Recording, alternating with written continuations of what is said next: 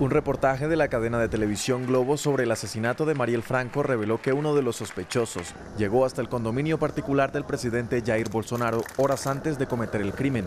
De acuerdo con el testimonio del portero, fue el mismo mandatario el que autorizó la entrada del sujeto, quien en realidad se dirigió a la casa de Ronnie Lesa, el acusado de propinar los disparos a la concejala en 2018.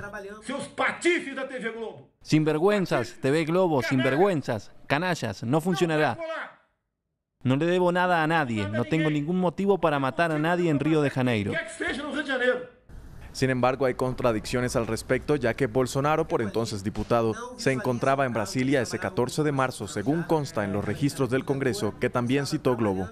La Fiscalía de Río declaró que tal testimonio es falso, luego de revisar las grabaciones del intercomunicador del conjunto de viviendas.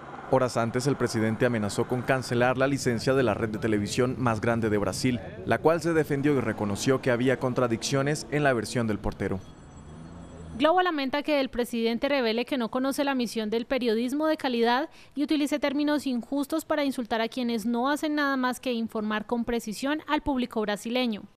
El ministro de Justicia, Sergio Moro, sugirió que se trata de un posible intento de involucrar indebidamente el nombre de Bolsonaro, por lo que habría delito de obstrucción de la justicia, falso testimonio o calumnias, y solicitó a la Fiscalía General la apertura de una investigación.